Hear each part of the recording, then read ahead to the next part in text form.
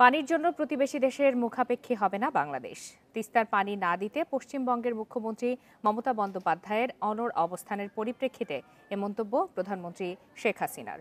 তিনি বলেছেন, পানির সংকট দূর করতে দীর্ঘমেয়াদে নিজস্ব ব্যবস্থাপনা তৈরির উপর জোর দিচ্ছে সরকার।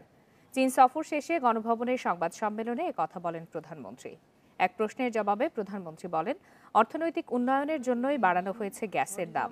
তবে এবারের দাম বৃদ্ধির পরেও গ্যাসে সরকারকে ভর্তুকি দিতে হবে। মিয়ানমারের রাখাইন রাজ্যকে বাংলাদেশের সঙ্গে যুক্ত করতে মার্কিন সিনেটর শ্যারনের প্রস্তাবের কড়া সমালোচনা করেন প্রধানমন্ত্রী। তিনি বলেন, বাংলাদেশ সবসময়ই অন্য দেশের সার্বভৌমত্বের উপর শ্রদ্ধাশীল। বছরে দশ হাজার কোটি টাকার উপর আমাকে ভর্তুকি দিতে হচ্ছে। তাহলে আন্দোলন যখন করেছে, তখন আমি একটা কাজ করি। যে দামে কিনবো, সেই দামে বেচবো। ওই নয় টাকাটা আমি এক- একষট্টি টাকা করে নেব। তাহলে আর আমাকে ভর্তুকি দিতে হচ্ছে না।